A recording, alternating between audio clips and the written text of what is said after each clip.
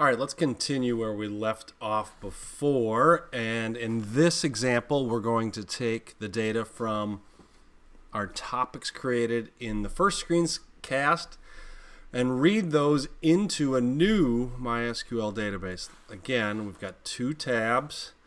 In one tab, we have got Confluent running, as shown before. And in this tab, let's take a quick look at where we are we have got the following topics that are of interest to us. This is from our first screencast. We've got all these tables loaded with data from the employees database.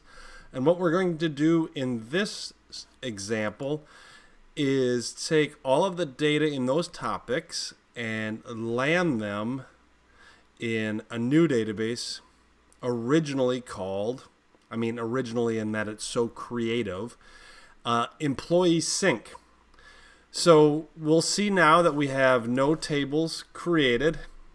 And let's go back and actually run our sink connector. So if we come back to this tab, we've got the MySQL bulk properties file here. Again, that's in the GitHub repo if you want to just pull that or copy it and modify it for your environment. And let's start this up.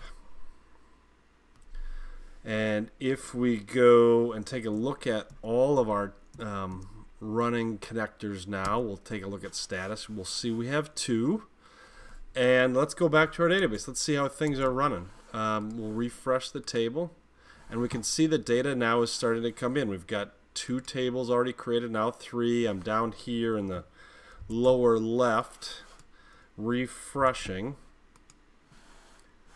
The data's coming in. Let's take a look at if there's actually data. So good. Data's coming through. Fantastic. This example is running. Um, that should do it. It's that easy. Hope this helps. Talk to you later.